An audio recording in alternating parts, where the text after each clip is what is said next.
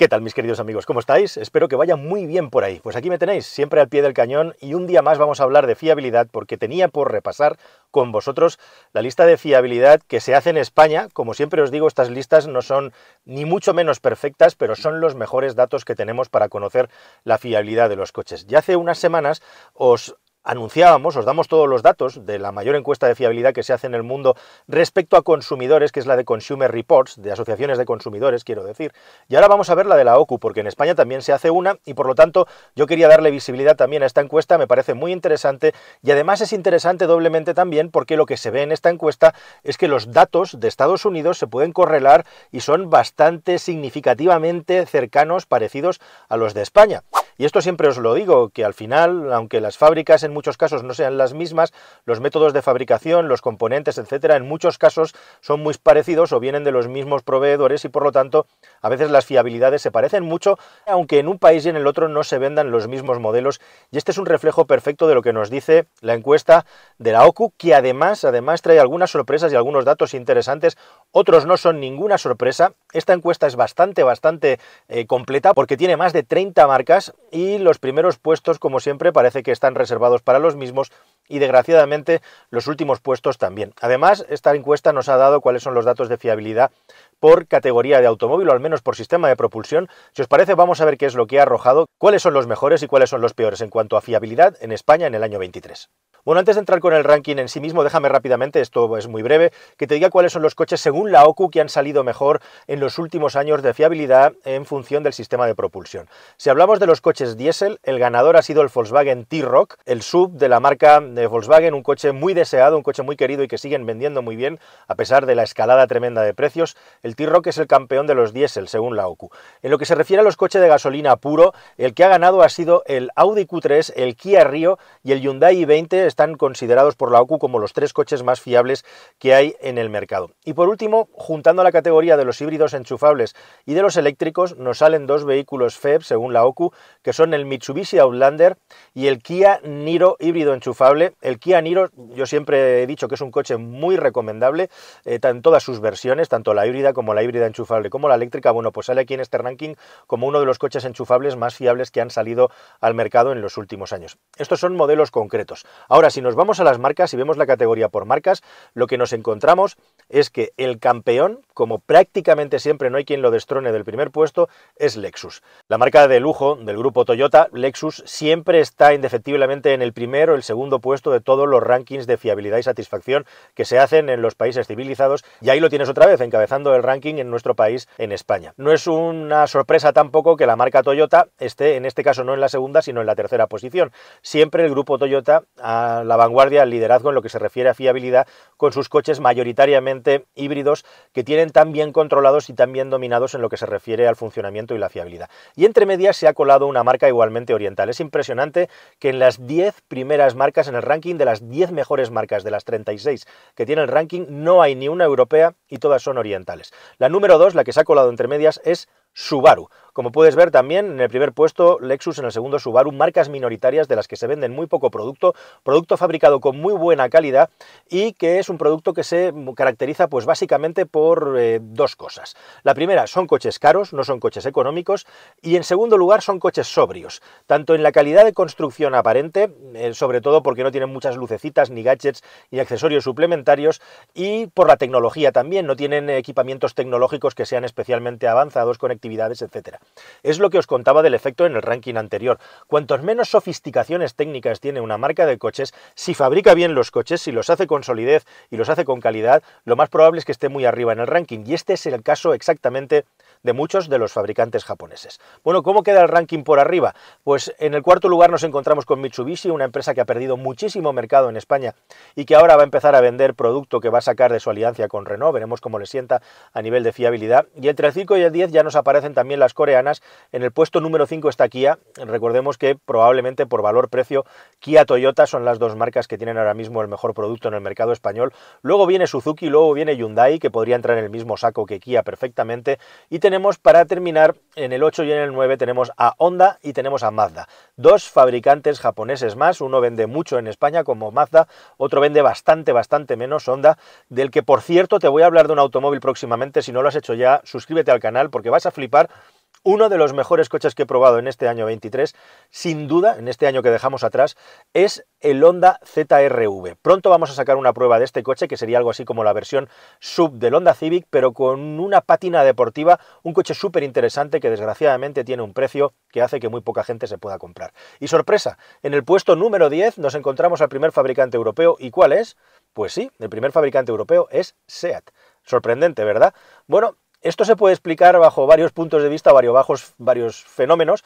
Eh, yo creo que el fenómeno más claro es que la gama de SEAT ya hace unos años que está, por decirlo en términos positivos, muy consolidada, es decir, que no han salido nuevos modelos, no hay nuevas tecnologías y los coches que vende SEAT ya llevan unos años fabricándose, con lo cual todas las basurillas y todos los problemas de inicio de producción se han ido resolviendo. Si eso le añadimos además que SEAT ha ido reduciendo las gamas de producto y ahora tiene una oferta más simple y menos amplia, pues tienes una marca que tiene ese valor, ese factor tecnológico en el que, bueno, pues puede ofrecer una eh, garantía de fiabilidad muy alta a sus compradores. Y eso es lo que está ocurriendo. Así que SEAT es el primer fabricante europeo que aparece en el puesto número 10. Y a partir de ahí, ¿qué es lo que viene? Bueno, pues luego vienen Dacia y Skoda en el 11 y el 12, muy buena posición también para alguna marca como Dacia que ha tenido algunos problemas con el GLP, pero parece que ya están resueltos. Skoda, una marca muy fiable que es un poquito la joyita de la corona dentro de los coches de acceso del grupo Volkswagen, muy bien posicionada también. Luego tenemos a Nissan, que es el último de los japoneses, no está en una buena situación Nissan, tanto a nivel de ventas como en fiabilidad, parece que está un poco por debajo, pero seguimos estando en la mitad alta, en la mitad más fiable del mercado, donde también está la francesa DS y donde también está Volkswagen en el puesto número 15 y por debajo de ella Smart. Aquí estaríamos entrando ya en la zona media en la que están los fabricantes, digamos, que tienen una fiabilidad media. Justo en el peldaño por debajo estaría la primera marca después de DS, la primera marca popular de Stellantis, que sería Peugeot, y luego viene un ramillete ya de marcas premium como pueden ser BMW, Mercedes y Mini, por debajo justo por debajo de todas estas marcas de coches, como os digo, en la industria del automóvil actual, la tecnología, el equipamiento tecnológico y la expectativa que tiene el comprador del funcionamiento de un coche que le ha costado mucho dinero, como es un Mini un BMW, como es un BMW o como es un Mercedes-Benz, juegan mucho a la hora de valorar sus automóviles en estos rankings y por eso que marcas premium aparecen en una zona tan baja y no hay ninguna marca premium importante que esté en el top 10, salvo lógicamente como os estaba diciendo Lexus. Y bueno, y aquí por debajo ya vienen las marcas populares, es muy llamativo, por ejemplo, que tenemos a Ford en el 21, Citroën en el 22, Audi y Volvo están en el 23 y en el 24, Volvo ha perdido mucho, mucho a nivel de fiabilidad. Vamos a ver qué tal le sientan a Volvo todos los cambios que están viniendo eh, por parte de la propiedad de la marca, por parte de Geely, con todas las marcas chinas que están introduciendo y a ver en qué posicionamiento termina acabando Volvo. Y luego por debajo estarían Renault y SsangYong que cerrarían la parte de la tabla media-baja. ¿Y cuáles son las marcas que peor rinden en este ranking, que están peor valoradas? Bueno, pues hay alguna sorpresa muy potente. Por ejemplo, la sorpresa que Porsche esté en el puesto 27 de la tabla. Para mí esto tiene una explicación clarísima. Y esa explicación tiene un nombre y un apellido. Se llama Porsche Taycan.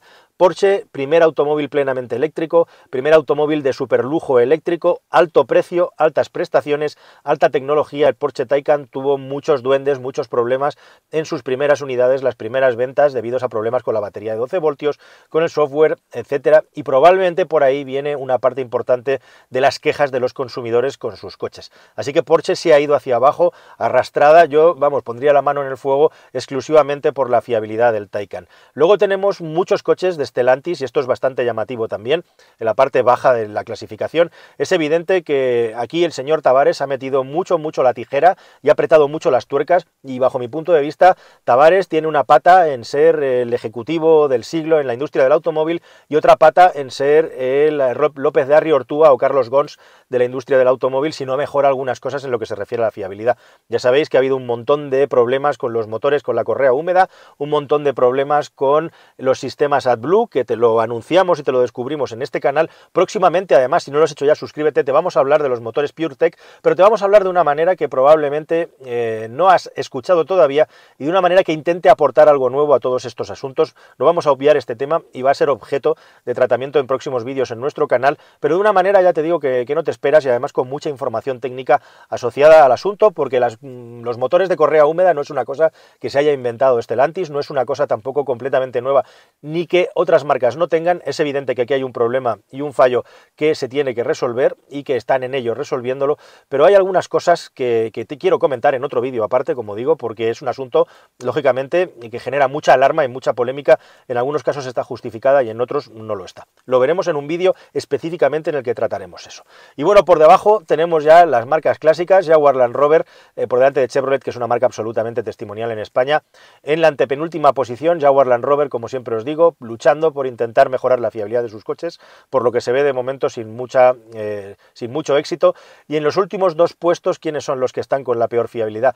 Pues Alfa Romeo es el penúltimo. Os tengo que decir que sé de buena tinta, sé de buena tinta, porque tengo contactos y por eso me dedico a esto, y por eso vosotros me dais vuestra confianza de que en Alfa Romeo está habiendo muchos problemas con el suministro de piezas, muchos problemas con la atención postventa, y esto está haciendo que muchos, muchos usuarios de la marca se desanimen y se enfaden con la marca, porque ya no es una cuestión de que los coches tengan más o menos averías hoy en día, sino también es una cuestión de cuál es la velocidad a la que las piezas llegan a los concesionarios. Por cierto, que en estos rankings de la OCU eh, hay marcas muy nuevas que todavía no aparecen en ellos, aparecerán próximamente porque no llevan todavía los suficientes años en el mercado como para poder hacer una valoración con una amplitud suficiente, ¿no? como es el caso de MG. Y si en la puesto número uno tenemos a Lexus, al fabricante japonés de vehículos híbridos de lujo, ¿quién es el último del ranking? Adivina, adivinanza. Pues sí, una vez más, de nuevo, Tesla se lleva el premio, entre comillas, dudoso premio, de ser el fabricante menos fiable del mercado, siempre según los datos que da la OCU, como digo. Así que este es el ranking, queridos amigos. La mayoría de los fallos que se reportan, el fallo más común suele ser fallo eléctrico en un 17%, seguidos por fallos en los sistemas de frenos. Tenemos en tercer lugar como fallo más común común los fallos de electrónica y por último fallos en el sistema de alimentación del motor y para terminar la dirección y el motor serían los fallos más comunes, de más común a menos común que tienen los automóviles que compramos. Así que estos son los datos de satisfacción y fiabilidad que ha dado la OCU en el año 23, estaremos muy atentos en el futuro. En este canal, como sabéis, nos hemos caracterizado siempre por hablar de fiabilidad, lo seguiremos haciendo y lo seguiremos haciendo con expertos y con fundamento y cerca de las personas que tienen el conocimiento técnico suficiente como para poder bien y con toda la prestancia que se supone toda esta información. Nada más, querida familia, espero que estos datos os hayan parecido interesantes, os sorprenden, os parecen positivos, qué os parece negativo, cómo está evolucionando la industria del automóvil cada vez con más tecnología y electrónica. Esto está cambiando a mucha velocidad y aquí en este canal te enterarás de todo. Hasta el siguiente vídeo, querida familia. Adiós.